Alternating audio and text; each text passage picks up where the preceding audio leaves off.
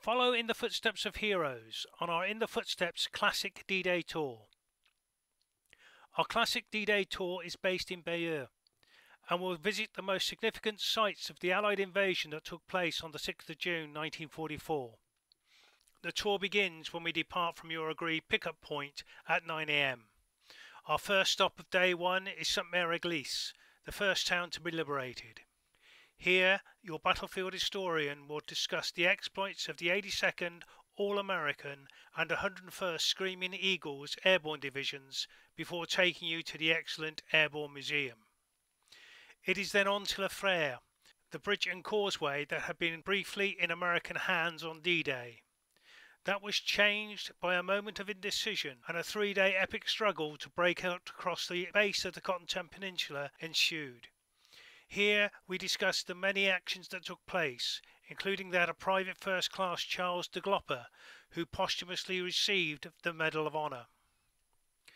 We then head to Picauville to pay our respects to the US 9th Air Force and remember those who flew the C 47 Skytrains that delivered the American airborne to their drop zones.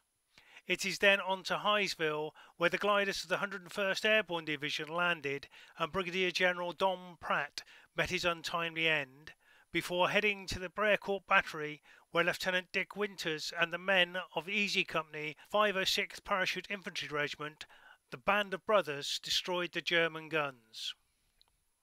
From Brécourt, we head towards Utah Beach, stopping off at the Richard Winters Leadership Memorial on the way, before continuing to the beach where the US 4th Infantry Division came ashore. Here we discuss the actions of Brigadier General Theodore Roosevelt Jr., whose personal valour, courage, and leadership on D Day led to the award of the Medal of Honor. Our final stop of day one is at La Cambe German Military Cemetery, where amongst others the German tank ace Michael Wittmann is buried.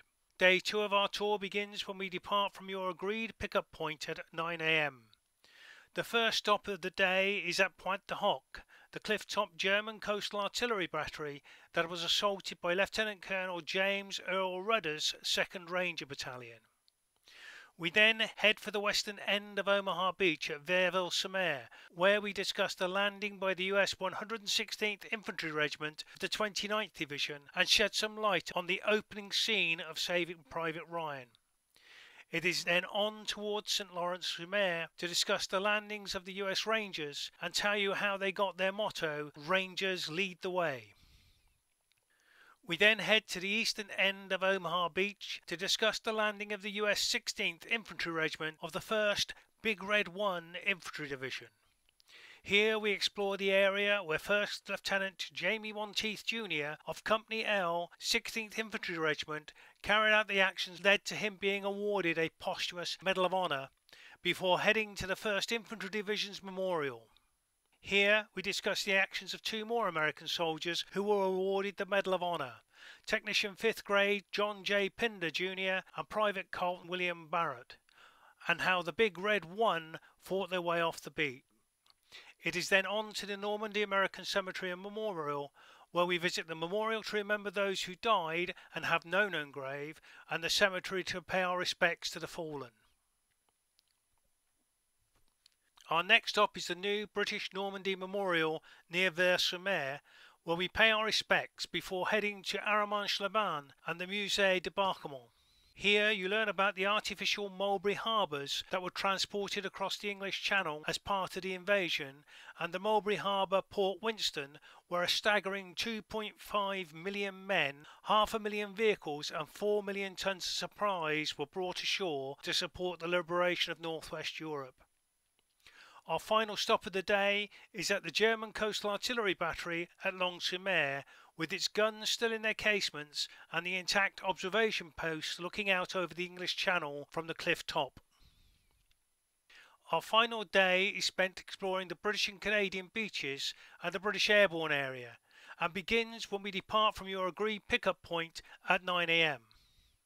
Our first stop is at the British landing beach at Vers-sur-Mer, where we discuss the landings at Gold Beach and the actions of Company Sergeant Major Stanley Hollis, the only person to be awarded the Victoria Cross for his actions on D-Day.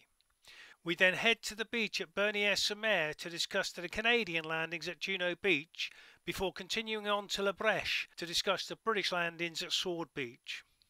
From the British and Canadian beaches, we head to Bénouville, the site of the first action of D-Day and its famous Pegasus Bridge. Here we discuss the Gliderborne coup de main operation by Major John Howard's D Company, the 2nd Battalion, the Oxfordshire and Buckinghamshire Light Infantry, before giving you the option to take afternoon tea in the Café Gondrée, the very first house to be liberated, or visiting the nearby Memorial Pegasus. We then take you to your agreed drop-off location where your battlefield historian bids you farewell. This classic tour has been designed to give you a balanced view of the American and British sectors. We can of course adjust the tour to concentrate on the American, British or Canadian landings, or even to follow in the footsteps of a particular unit or individual.